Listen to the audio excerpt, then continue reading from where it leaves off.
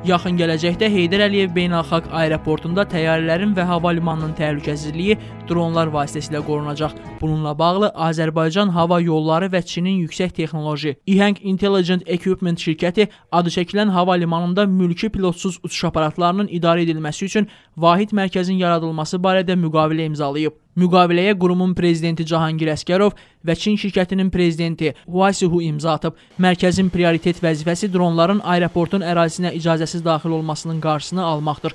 Çünki dronların nisbətən aşağı hündürlükdə uçması və hətta uçuş enmə zolağının ərazisinə daxil ola bilməsi təhlükə yarada bilər.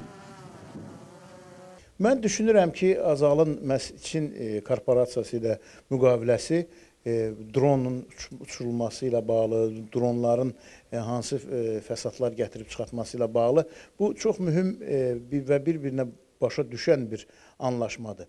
Ümumiyyətlə dronlarla bağlı bunu demək olar ki, 2018-ci ildə hətta Azərbaycan gömrüyündə də bu dronların Azərbaycana idxalı ilə bağlı müəyyən dəyərmi masa da keçirmişdi.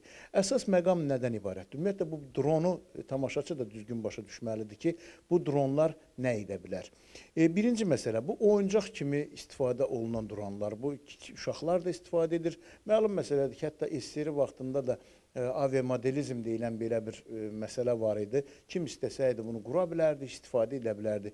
İkinci, e, müəyyən şə, toy şənliklərini, turizm istiqamətində istifadə olunan dron, dronlar. Üçüncü də sırf e, kəşfiyyat xarakterli, eyni zamanda e, ağır dronlar var ki, bunlar e, digər e, istiqamətdə də istifadə etmək olar. Yəni hər şey səbəb və məqsədə bağlıdır. E, Estoniya və Rusiya sərhədində, digər sərhədlərdə e, bu gün sərhədin mühafizəsində ən mühüm dronlardan istifadə etmək nəzərdə tutulub. Dronlar bildiyiniz kimi e, bütün dünyada e, son hadisələrdə e, Səudi Aramkada ondan istifadə olunur. Hərəsinin öz istifadə istiqaməti var. Uçan obyektlərin ümumiyyətlə e, azalın e, təyyarələrinə mane ola biləcək dronlar da mümkündür. Mən düşünürəm ki, həmin o dronlardan necə istifadə olunması məhz o ə, e, sazişdə öz əksini tapmalıdır və tapacaqdır da. Mülki təyyarələrin pilotsuz uçuş aparatları ilə toqquşmasının qarşısını almaq üçün ilk dəfə olaraq yeni mərkəz Azərbaycanın hava hərəkətinə nəzarət sistemi ilə birləşdiriləcək.